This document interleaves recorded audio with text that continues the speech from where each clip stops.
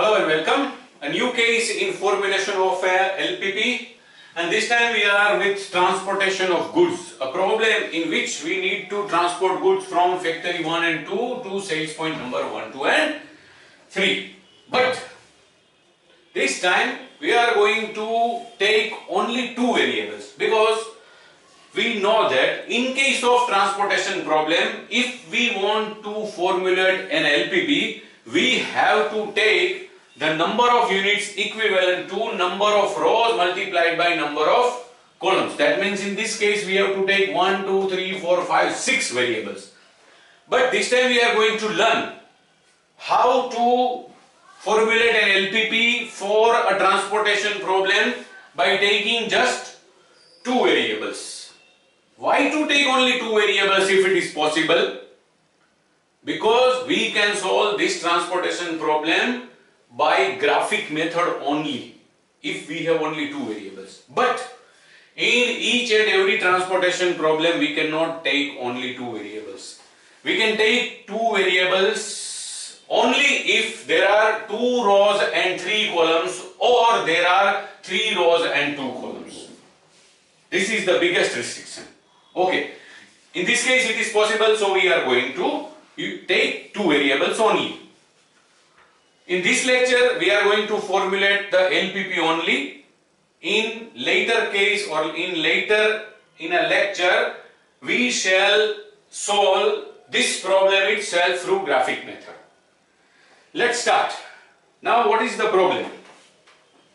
A company manufactures daily 1200 units at factory 1 and 1000 units at factory 2.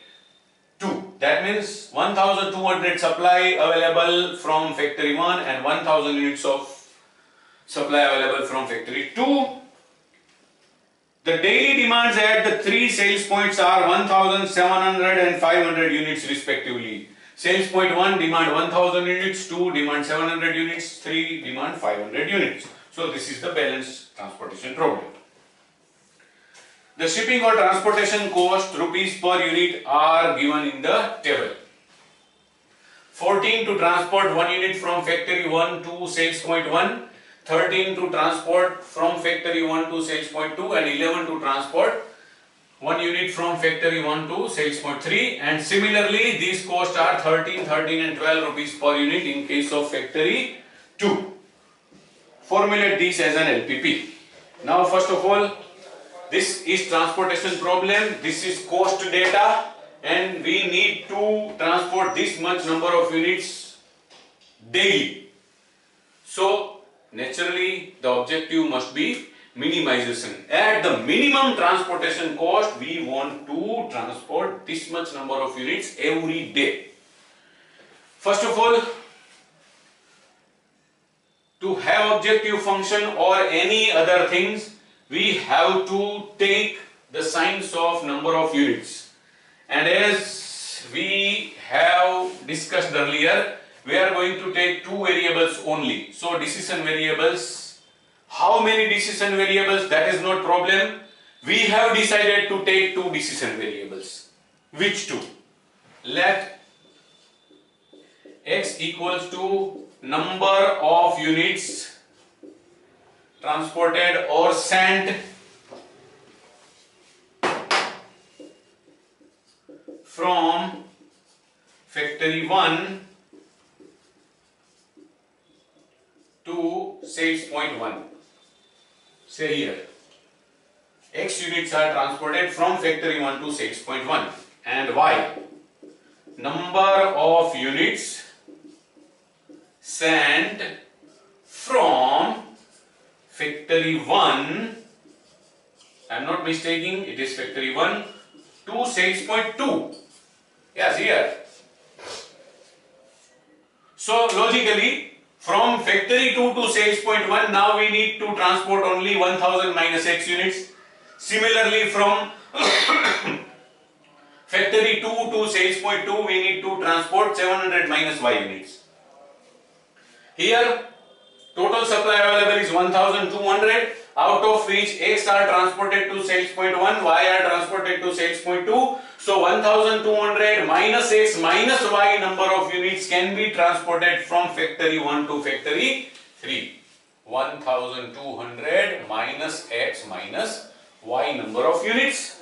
In this case 1000 minus x units. In this case 700 minus y units.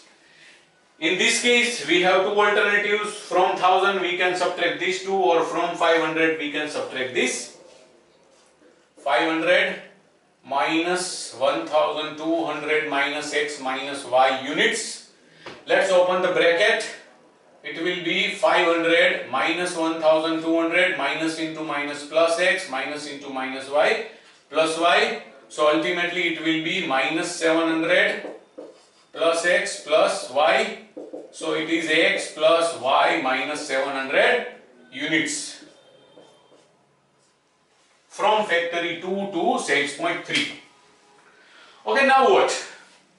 These are per unit cost of transportation from one, from factory 1 or 2 to 6.1 or 2 or 3 and these are now number of units to be transported at this rate. So if we multiply these two, E in each and every cell we can have cost.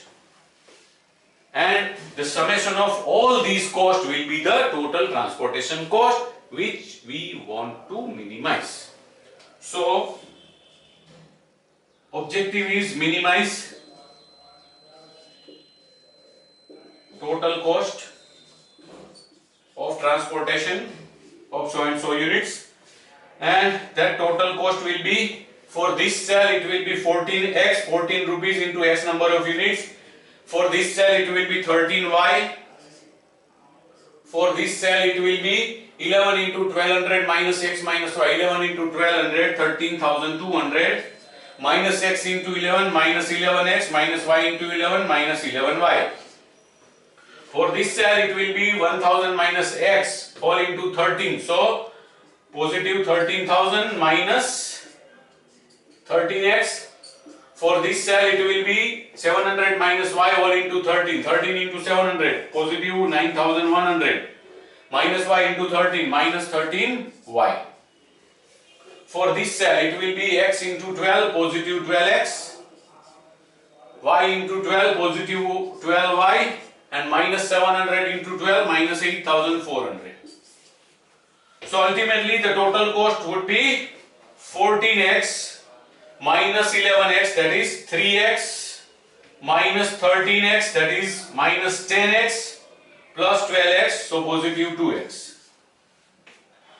For y similarly 13y minus 11y 2y minus 13y minus 11y plus 12y plus 1y that is plus y.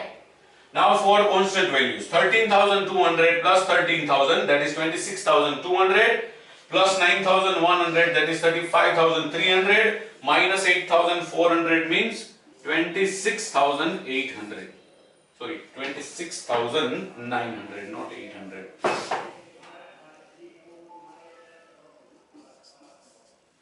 okay. So this is the total cost that is z function for us. 2x plus y plus 26,900. Okay. Now don't get confused watching the constant value in z function.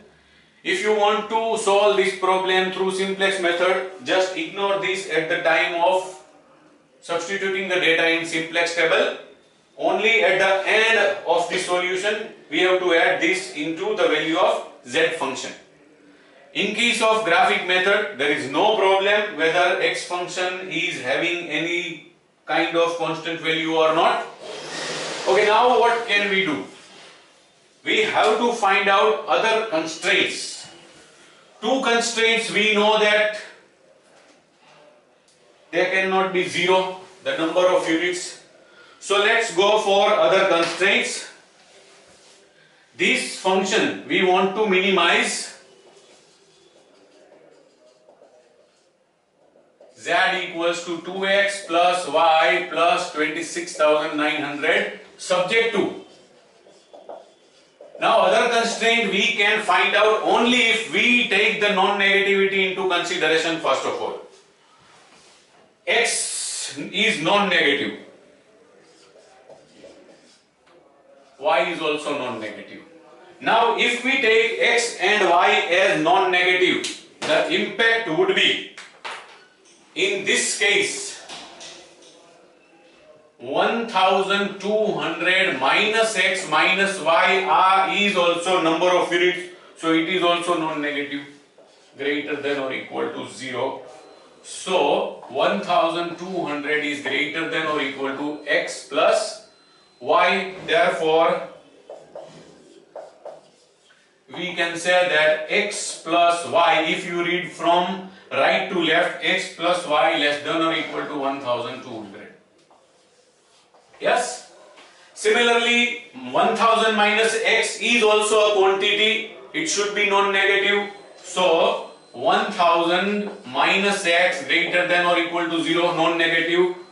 Therefore, 1000 is greater than or equal to x if we read from right to left it will be x less than or equal to 1000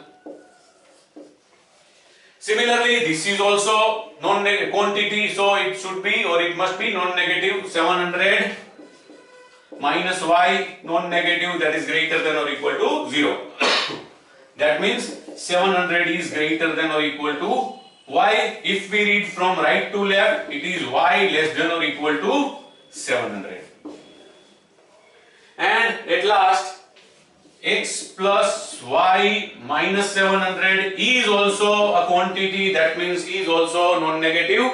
So it is x plus y greater than or equal to 700 all these are constraints which are to be taken into consideration while solving the problem to minimize this objective function z equals to 2x plus y plus 26900 so in this case, we formulated an LPP for a transportation problem having two rows and three columns taking only two variables.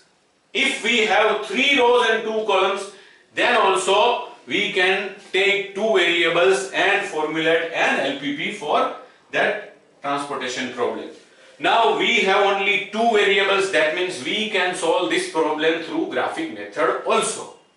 It is not compulsory to use simplex method. But in this lecture we are not going to solve this problem. In next lecture we shall solve this problem through graphic method. That's it. Thank you very much.